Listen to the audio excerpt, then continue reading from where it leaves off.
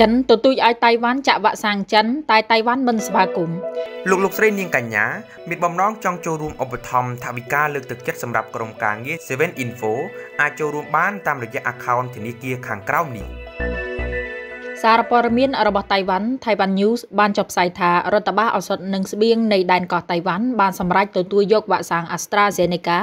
និងវ៉ាក់សាំង Moderna ពីសហរដ្ឋអាមេរិកដើម្បីមកចាក់ឲ្យប្រជាជនតៃវ៉ាន់ខណៈដែលដែនកោះមួយនេះកំពុងរីករាលដាលខ្លាំងនៃជំងឺ COVID-19 សារព័ត៌មានថៃវ៉ាន់បានចុះផ្សាយថាតៃវ៉ាន់ទទួលវ៉ាក់សាំង AstraZeneca ចំនួន41ម៉ឺនដុសនិងចែកចាយភ្លាមៗទៅដល់បុគ្គលិកពេទ្យរបស់ដែនកោះមួយនេះនៅទូទាំងប្រទេសដែលមានប្រមាណ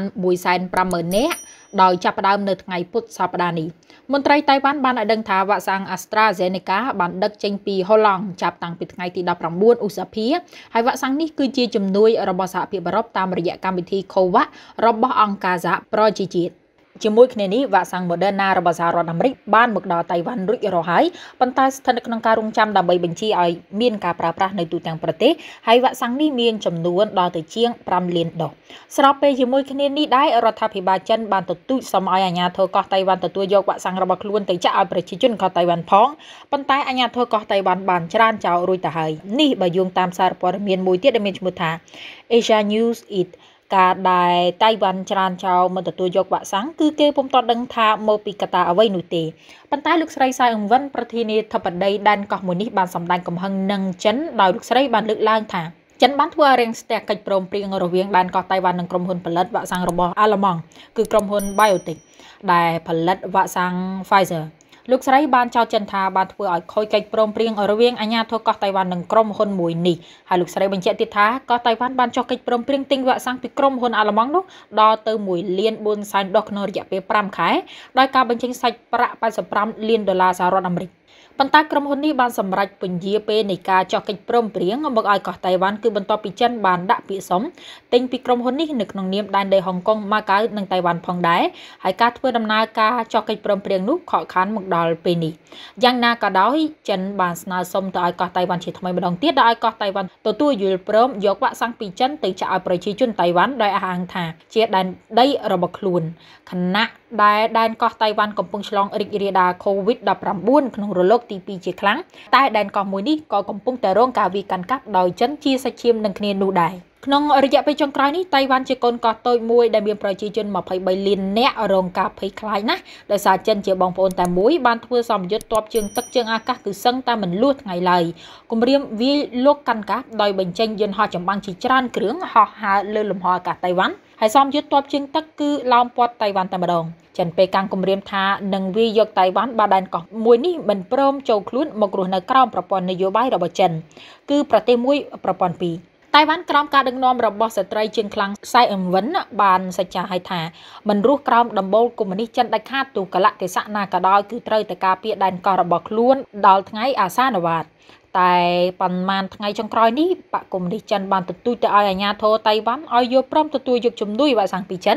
ដោយក្រុងប៉េកាំងបារម្ភថាពលរដ្ឋតៃវ៉ាន់ជាជនរួមជាតិចិនតែមួយអាចនឹងគ្រោះថ្នាក់ដល់អាយុជីវិតធ្ងន់ធ្ងរករណីឆ្លង COVID-19 ទីភ្នាក់ងារសារព័ត៌មាន Reuters បានធ្វើសេចក្តីរាយការណ៍ថាចិនបានបន្តស្នើសុំឲ្យបញ្ជូនវ៉ាក់សាំងបង្ការជំងឺ Covid-19 ទៅឲ្យកោះតៃវ៉ាន់ដើម្បីជួយកោះនេះនៅក្នុងការប្រយុទ្ធប្រឆាំងនឹងការកើនឡើងខ្លាំងនៃជំងឺ Covid-19 ចិននិងកោះតៃវ៉ាន់បានទាស់សម្ដីគ្នាម្ដងហើយម្ដងទៀតក្នុងអំឡុងពេលនៃការរីករាលដាល COVID-19 ដោយក្រុងតៃប៉េបានចោទប្រកាន់ក្រុងប៉េកាំងថាផ្សព្វផ្សាយព័ត៌មានคล้ายៗនិងបានព្យាយាមរារាំងការចូលរបស់តៃវ៉ាន់ជាសមាជិករបស់អង្គការសុខភាពពិភពលោក ខណៈទីក្រុងប៉េកាំងវិញបានអះអាងថាក្រុងតៃប៉េកំពុងយកជំងឺឆ្លងនេះធ្វើជាឈ្នន់បំរើផលប្រយោជន៍នយោបាយរបស់ខ្លួនសម្ដៅពង្រីកមៀតលើឆាកអន្តរជាតិកោះតៃវ៉ាន់ពេលនេះកំពុងប្រឈមមុខនឹងការឆ្លងរីករាលដាល COVID-19 ធ្ងន់ណាស់ហើយកំពុងប្រឈមនឹងការខ្វះខាតវ៉ាក់សាំងដែលរហូតមកដល់ពេលនេះតៃវ៉ាន់ទទួលបានវ៉ាក់សាំង70,000ដុសប៉ុណ្ណោះខណៈប្រជាជនមានដល់ទៅ23លាននាក់ឯណោះនៅក្នុងសេចក្តីថ្លែងការណ៍មួយរបស់ការិយាល័យទទួលបន្ទុកកិច្ចការកោះតៃវ៉ាន់នៃប្រទេសចិនបានបញ្ជាក់ថាចិនទោះជាមានការព្រួយបារម្ភយ៉ាងខ្លាំងអំពីការឆ្លង COVID-19 នៅក្នុងកោះតៃវ៉ាន់ហើយក្នុងនាមជាជនរួមជាតិតែមួយចិនចាំបាច់ផ្ដល់ជំនួយវ៉ាក់សាំងម្ដងទៀតដល់កោះតៃវ៉ាន់ ការិយាល័យទទួលបន្ទុកកិច្ចការកោះតៃវ៉ាន់បានអះអាងអាកប្បកិរិយារបស់ចិនគឺច្បាស់លាស់ណាស់បដិញ្ញារៀបចំឲ្យបានឆាប់ឆាប់ដូច្នេះជនរួមជាតិតៃវ៉ាន់ភាគច្រើននឹងមានវ៉ាក់សាំងបង្ការជំងឺ Covid-19 ប្រើប្រាស់បានយ៉ាងឆាប់បំផុតប្រសិនបើចាំបាច់គឺក្រុងប៉េកាំងក៏មានឆន្ទៈបញ្ជូនអ្នកជំនាញគ្រប់គ្រងនិងបង្ការការឆ្លងរីករាលដាលនៃជំងឺនេះទៅកាន់កោះតៃវ៉ាន់ទៀតផងគឺដើម្បីចែករំលែកបទពិសោធន៍ជាមួយនឹងអ្នកជំនាញផ្នែកវិទ្យាសាស្ត្រនិងសុខភាពរបស់កោះតៃវ៉ាន់ តែដែនកោះតៃវ៉ាន់នៅតែពុំបានឆ្លើយតបចិនវិញនោះទេទោះជាពាក្យថាស្វាគមន៍ក៏គ្មានដែរការប្រកាសផ្តល់ជំនួយវ៉ាក់សាំងរបស់ចិនទៅកាន់កោះតៃវ៉ាន់គឺក្រោយពីចិនទទួលបានព័ត៌មានមកថាមានក្រុមអ្នកនយោបាយតៃវ៉ាន់មួយចំនួនបានជំរុញឲ្យអាជ្ញាធរដែនកោះនេះបញ្ជាទិញវ៉ាក់សាំងពីចិនជាបន្ទាន់ដើម្បីដោះស្រាយបញ្ហាបន្ទាន់ដែលស្ថិតនៅចំពោះមុខ កោះតៃវ៉ាន់ពេលនេះមានករណីឆ្លង COVID-19 សរុបដល់ទៅ5456ករណីស្លាប់35នាក់ជាសះស្បើយ1113នាក់ហើយអត្រាឆ្លងគឺមធ្យម300នាក់ក្នុងមួយថ្ងៃបើទោះបីជាវ៉ាក់សាំងចិនបាននឹងកំពុងត្រូវប្រើប្រាស់នៅទូទាំងចិននិងបណ្ដាប្រទេសជាច្រើនក៏ដោយក្តីតែកោះតៃវ៉ាន់នៅតែបញ្ជាក់ថាខ្លួនមិនទុកចិត្តវ៉ាក់សាំងរបស់ចិននោះទេតាមប្រភពព័ត៌មាន Taiwan News ដដែលគឺកោះតៃវ៉ាន់នឹងទទួលបានវ៉ាក់សាំងបង្ការ COVID-19 ពីសហរដ្ឋអាមេរិកបូករួមទាំងវ៉ាក់សាំងអភិវឌ្ឍនៅក្នុងស្រុកផងដែរដែលរដ្ឋមន្ត្រីសុខាភិបាលកោះតៃវ៉ាន់លោកចិនស៊ីនជុនបានមានប្រសាសន៍កាលពីថ្ងៃទី25ឧសភាថាវ៉ាក់សាំងបង្ការ COVID-19 រាប់លានដុសនេះគឺកំពុងត្រូវបានដឹកជញ្ជូនមកកាន់កោះតៃវ៉ាន់ដែលនឹងមកដល់ខែមិថុនា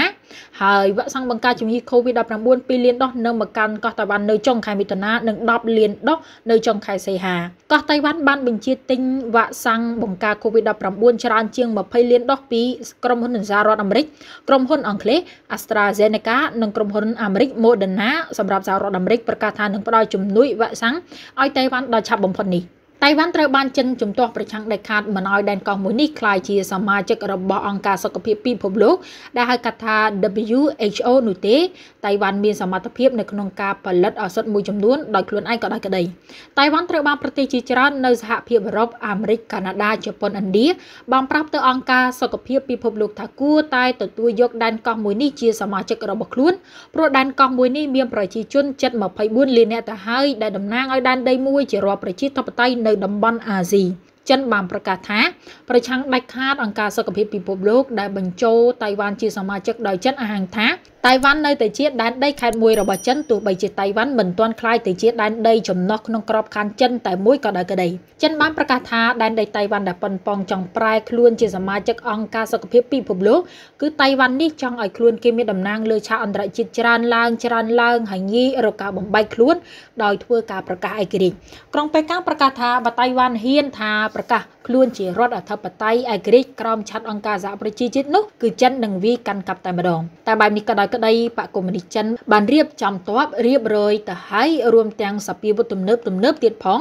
ដើម្បីវាយកកោះតៃវ៉ាន់មកដាក់ក្រោមចំណោះរបស់ខ្លួននៅពេលណាមួយដែលស្ថានភាពធ្លាក់ដល់ចំណុចក្តៅគគុកដែលចិនពុំអាចអត់ឱនឲ្យតៃវ៉ាន់បានទៀតនោះ តៃវ៉ាន់និងចិនផ្ដាច់ខ្លួននឹងគ្នាក្រោយសង្គ្រាមឆ្នាំ1949មកដល់ពេលនេះជាង70ឆ្នាំហើយដែលតៃវ៉ាន់នៅតែតៃវ៉ាន់ដដែលតៃវ៉ាន់ក៏បានត្រៀមរួចហើយនៅយុទ្ធសាស្ត្រដើម្បីសង្គ្រាមដោយប្រកាសថាការពារដែនកោះតៃវ៉ាន់រហូតដល់ដំណាក់កាលចុងក្រោយដែនដីកោះតៃវ៉ាន់ដែលក្លាហានយ៉ាងដូចនេះក៏ត្រូវបានគេមើលឃើញថាដោយសារតែប្រើប្រាស់សុទ្ធតែអាវុធរបស់សហរដ្ឋអាមេរិក